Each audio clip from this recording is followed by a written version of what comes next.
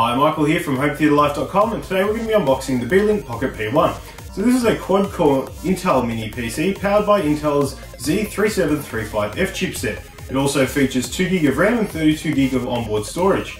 Let's get unboxing. Okay, so let's unbox the Beelink Pocket P1.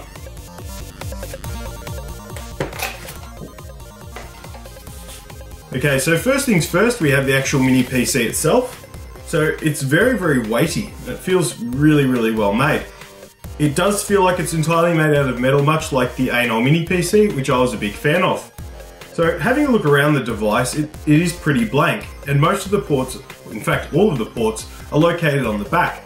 So we have two full-size USB ports, a micro USB port, a micro HDMI port, the micro SD card slot, 3.5mm audio, and the power button. Also inside the box, we have the power supply. So the power supply is a 5 volt 2 amp power supply, which has a standard USB connection at the end. We're also given a micro USB charging cable. And it saddens me how excited I am actually about this, but Beelink have actually included a micro HDMI to HDMI cable in the box. And it's it's frustrating how many manufacturers haven't actually done this. So it's great to see Beelink take the initiative here. And lastly in the box is an instruction manual. Very, very simple, just showing you how to connect the device up to your TV. So that's it for the unboxing of the Beelink Pocket P1, but let's see how it performs.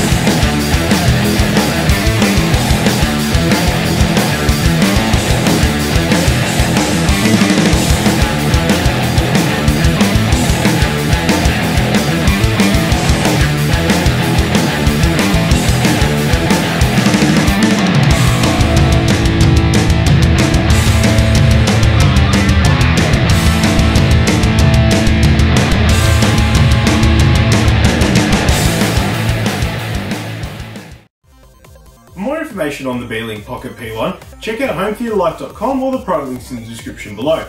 You can follow Home Theatre Life on Twitter, Facebook and Google+, and if you enjoyed this video, don't forget to like and subscribe so I can keep making these for you. As always, thanks for watching.